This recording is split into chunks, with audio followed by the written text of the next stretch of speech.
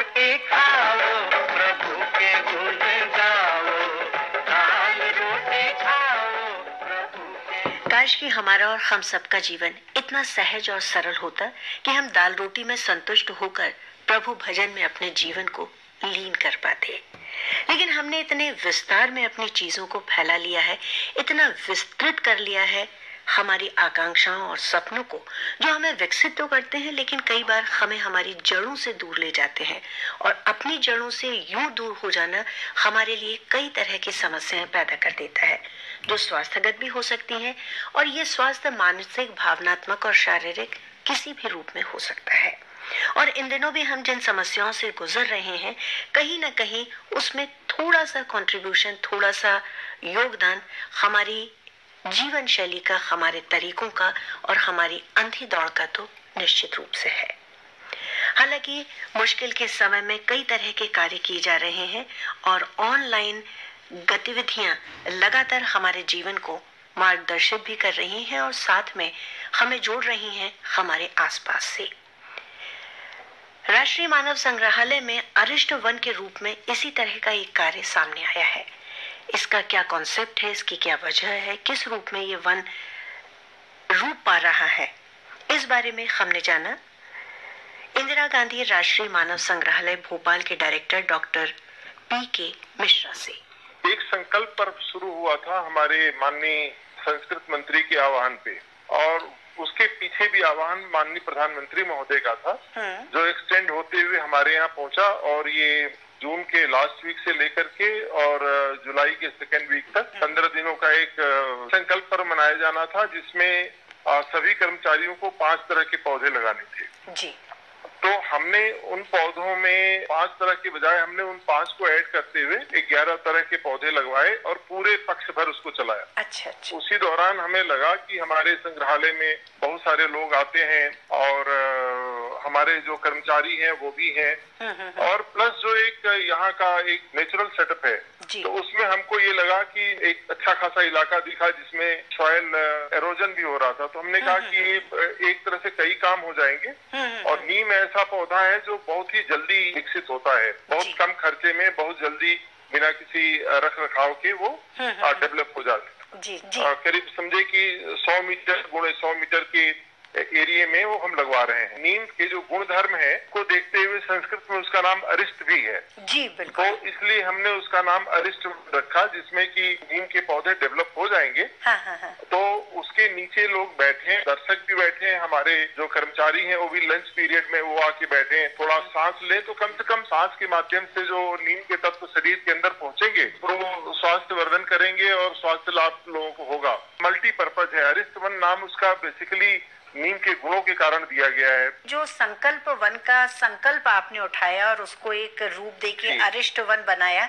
ये वास्तव में एक अपने आप में महत्वपूर्ण भी है। और हमारे सॉयल इरोजन को रोकेगा जो। वर्षा से यहाँ पर क्योंकि इसे बेड रॉक है और ऊपर मिट्टी की एक बड़ी पतली सी परत उपलब्ध है। और वो भी अगर वर्षा के कारण बह करके नालों के माध्यम से बाहर निकल जाएगी तो जो नेचुरल सेटअप हमारे म्यूज़ियम कैंपस का है वो बिगड़ जाएगा। तो ये एक तरह से कई काम करेगा। सॉइल कंजर्वेशन का काम करेगा इन्वायरमेंट कंजर्वेशन का काम करेगा लोगों के स्वास्थ्य में वृद्धि करेगा। यहाँ का वातावरण शुद्ध होगा इनके प्रभाव से। जी बिल्कुल। तो ये कुल अरिष्ट वन का जो नाम है वो अपने आप में अपना उद्देश्य पूरा कर रहा है। लगभग कितने। पौधे इस समय वहाँ पर लग चुके हैं?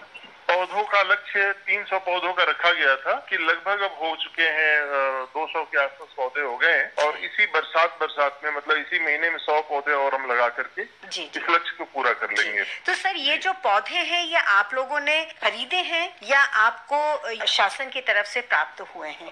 ये हमने राज्य सरकार के वन विभाग से निवेदन किया था। जी जी। और उन्होंने बड़ी बहुत ही रुचि लेकर के और जब उन्होंने इस कॉन्सेप्ट को समझा जी।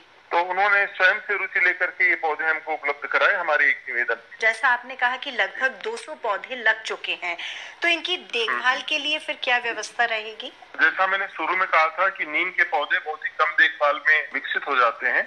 तो अभी तो वातावरण में पर्याप्त नमी है हाँ हाँ। और यह नमी जाड़ों तक तो मेंटेन रहेगी। यानी कि फरवरी तक मैं उम्मीद करता हूँ कि नमी मेंटेन रहेगी वातावरण में। आगे के जो तीन महीने हैं मार्च अप्रैल मई और जब तक की बरसात नहीं हो जाती इन्हें हमको थोड़ा विशेष केयर करनी पड़ेगी। और जो हमारे यहाँ उपलब्ध स्टाफ है बागवानी सेक्शन था वही लोग इसकी देखभाल कर ले जाएँगे। ये उसमें कहीं कोई दिक्कत नहीं है। वो थोड़ा बहुत जो पानी की व्यवस्था करनी होगी हम लोग कर लेंगे। हमारे पास रिसोर्सेस हैं उसके। सर हम आपसे ये भी जानना चाहेंगे कि मानव संग्रहालय में यूँ देखने आना लोगों के लिए ओपन होना इन परिस्थितियों में तो अभी संभव नहीं है। अभी संभव नहीं है जी, जी, लेकिन जी। क्या गतिविधियाँ वहाँ चल रही हैं? कैसे जुड़ सकते हैं हम? उस बारे में भी कुछ जानकारी चाहेंगे आपसे। मानव संग्रहालय है ये बहुत ही क्रिएटिव सा निकाय है हमारे सरकार का और हमारे समाज का। खास करके मध्य प्रदेश में इस तरह का एक सेटअप बहुत अच्छा लगता है। हम्म, हम्म, जब ये सारी गतिविधियाँ सामान्य तौर पे चल रही थी और कोविड 19 की गंभीरता से हम लोग इतना परिचित नहीं थे और अचानक से लॉकडाउन की घोषणा हुई। उस समय हम लोग एकदम से हतप्रभ रह गए कि अब क्या किया जाए? आखिर हम अपनी गतिविधियों को कितने समय तक रोक सकते हैं? तो हम लोग ने एक जो शुरुआत की कि अंबेडकर जयंती पे हमारे एक ज्वाइंट डायरेक्टर हैं। तो उन्होंने इच्छा प्रकट की कि, सर, मैं एक ऑनलाइन लेक्चर देना चाहता हूँ। तो उस स्वरूप को उन्होंने समझा और हमने कहा ठीक है आप ऑनलाइन लेक्चर दीजिए। और फिर वहाँ से हम लोगों ने फिर अपने को रीयूनाइट करना चालू किया और फिर से ये हुआ कि हम अपनी गतिविधियों को ऑनलाइन हम्म, हम्म, जनता के सामने रखें। दिक्कत उसमें क्या थी? सारी गतिविधियाँ बंद थी बहुत दिनों तक। और कुछ भी ऑनलाइन करने के लिए उसकी पुख्ता तैयारी करनी होती थी यानी कि सूचनाओं का कलेक्शन संग्रह ऑफ़ द वीक ये मतलब मैं संदर्भ के लिए बता रहा हूँ। ऑब्जेक्ट ऑफ़ द मंथ हमारे यहाँ संग्रहालय में पहले होता था। जी। ये हुआ कि इस चीज़ से इसी तर्ज पे हम एक सप्ताह का प्रादर्श ऑनलाइन करें इसमें हमारे जो भी सोशल मीडिया के चैनल्स हैं यानी हमारी वेबसाइट है तो हम लोगों ने सप्ताह के प्रादर्श को बनाना चालू किया जिसमें एक पेज था हिंदी में और इंग्लिश में राइटर और उस प्रादर्श टीचर और उसके बारे में जो बेचना है यानी कि कहाँ से लिया गया क्या उसकी कैटेगरी है सारी चीज़ें करके और हम लोग हर वीक में यानी कि योजना तो थी कि मई के मध्य से इसको चालू कर दिया जाए। तैयारियाँ थोड़ी सी विलम्ब से हुई लेकिन एक बार स्टार्ट हो गया। तो लगातार अब चल रहा है। हर सोमवार को अब हम 28 मई से लेकर के एक ऑब्जेक्ट जो हमारे कलेक्शन का है उसको सोशल मीडिया के माध्यम से हम जनता के सामने रख रहे हैं। दूसरा जून में शुरू हुआ कि हमारी जो मुक्ताकाश प्रदर्शनियाँ हैं इनके बारे में हुआ कि साहब इनको भी एक वीक में हम जनता के सामने रखें। उनके ऊपर भी एक वीडियो और इसी तरह की सामग्री ओपन एयर पे हाँ, हाँ, जो सारी सामग्रियाँ उनकी पिक्चर्स और एक वीडियो जो यूट्यूब के माध्यम से हाँ, उसका लिंक वहाँ पर दिया जा रहा है तो लोग उसको पूरा विज़िट कर रहे हैं। सर क्या रिस्पांस आ रहा है। इन गतिविधियों का? बहुत अच्छा रिस्पांस आ रहा है बहुत ही बढ़िया रिस्पांस आ रहा है। हम्म, हम्म, हम्म। से अच्छा एक और भी हुआ हाँ, हाँ। म्यूज़ियम डे से हम लोगों ने ऑनलाइन लेक्चर्स कराए। जो लेक्चर है ये किसी श्रृंखलाबद्ध तरीके से चल रहा है? लेक्चर्स का जो मामला जैसे किसी खास दिवस पे हम करा रहे हैं पहले क्या होता था लेक्चर ऑफ़ द मंथ होता था। तो वो श्रृंखला थोड़ी सी ब्रेक हो गई है लेकिन फिर भी हम कोशिश ये कर रहे हैं कि हर महीने में किसी एक खास अवसर पे एक लेक्चर करा दिया जाए ऑनलाइन सर इस समय जो सप्ताह के प्रादर्श की बात करें तो इस समय क्या है और सोमवार से क्या चेंज होने वाला है? क्या ये आप हमारे श्रोताओं को बताना चाहेंगे? इस समय एक परवाह करके हाँ हाँ। एक कृषि संबंधी यंत्र ऑनलाइन है। वो एक तरह से चमड़े का या धातु का बना हुआ एक बैग टाइप होता था जिस जिसको एक चेन पुली के माध्यम से यानी रस्सी को लगाते थे उसमें के, लोड ऊपर करने के लिए और किसी वैल के माध्यम से या ऊट के माध्यम से एक रैंप पर उसको चलाते थे उल्टी दिशा में। अच्छा। तो वो गहराई में एक बार जाता था पूरा पानी भरता था हम्म, हम्म, और वो पशु शक्ति के माध्यम से ऊपर आकर के एक खास जगह पे गिरता था। तरवा है जो भिंड से लिया गया है। ये भी ऑनलाइन है। हाँ जी। और नेक्स्ट जो सोमवार को होगा उसका नाम है गाड़ी। और वो वो जो गाड़ी है जो राजस्थानी लोहार है जो लोग अपना पूरा परिवार और पूरा एक तरह से वर्कशॉप ही लेके उस पे जगह जगह भटकते रहते हैं वो गाड़ी है। अच्छा। तो उसके बारे में पूरी रिकॉर्डिंग है हमारे यहाँ पूरी इंफॉर्मेशन है। हाँ, हाँ, वो पूरा एक सैंपल रूप में हमारे यहाँ रखा हुआ है। उसका एक जो परिचयात्मक विवरण है वो और उसकी पिक्चर इस बार ऑनलाइन होगी और एग्जीबिशन की भी कोई थीम होती है? शुरू में जैसा मैंने बताया कि कोशिश हम लोगों ने की थी कि थीम के हिसाब से चलें। जैसे कि नॉर्थ ईस्ट का ही एक ले लें या जैसे बुद्धिस्ट एथनोग्राफी का ले लें।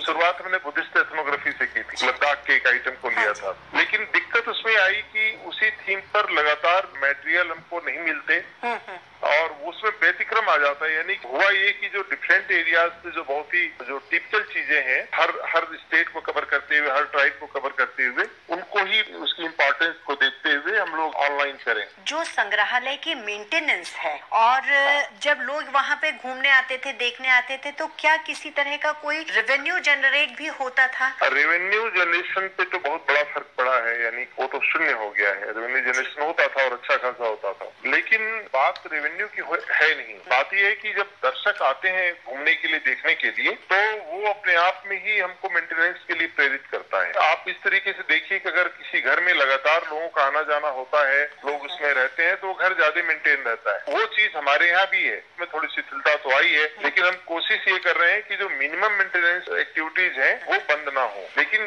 दर्शकों के लिए किसी चीज़ को मेंटेन रखना और मेंटेन करने के लिए मेंटेन रखना इन दो में बड़ा फ़र्क आ जाता बिल्कुल है। बिल्कुल बिल्कुल। वो फ़र्क विद्यमान है। बस सभी ये उम्मीद कर रहे हैं कि जैसे भी धीरे धीरे ही सही लेकिन परिस्थितियाँ अनुकूल हों तो सभी चीज़ें अपनी सामान्य गति पर आ सकें ये उम्मीद ही की जा सकती है। सर एक क्वेश्चन आपसे और करना चाहेंगे क्योंकि आप आर्कोलॉजिकल सर्वे ऑफ़ इंडिया में भी डायरेक्टर हैं। आर्कोलॉजिकल सर्वे ऑफ़ इंडिया के अंतर्गत जो हमारे भोपाल और भोपाल के आसपास जो मॉन्यूमेंट्स हैं जो धरोहरें हैं उनकी अभी क्या स्थिति है और क्या वो ओपन टू ऑल हैं या उनमें भी अभी लॉकडाउन का प्रभाव है? जुलाई फ़र्स्ट वीक से ओपन टू ऑल है। और उनमें सामान्य गतिविधियाँ प्रारंभ होगी तो सामान्य गतिविधियाँ हमने प्रारंभ ज़रूर कर दी हैं लेकिन जो मिनिस्ट्री ऑफ़ हेल्थ की गाइडलाइन है मिनिस्ट्री ऑफ़ होम की गाइडलाइन है और संबंधित जिला प्रशासन की जो गाइडलाइन है उनको ध्यान में रख करके गतिविधियाँ चालू हैं। सर एक महत्वपूर्ण जानकारी के लिए हम आपको धन्यवाद देंगे। बहुत बहुत धन्यवाद।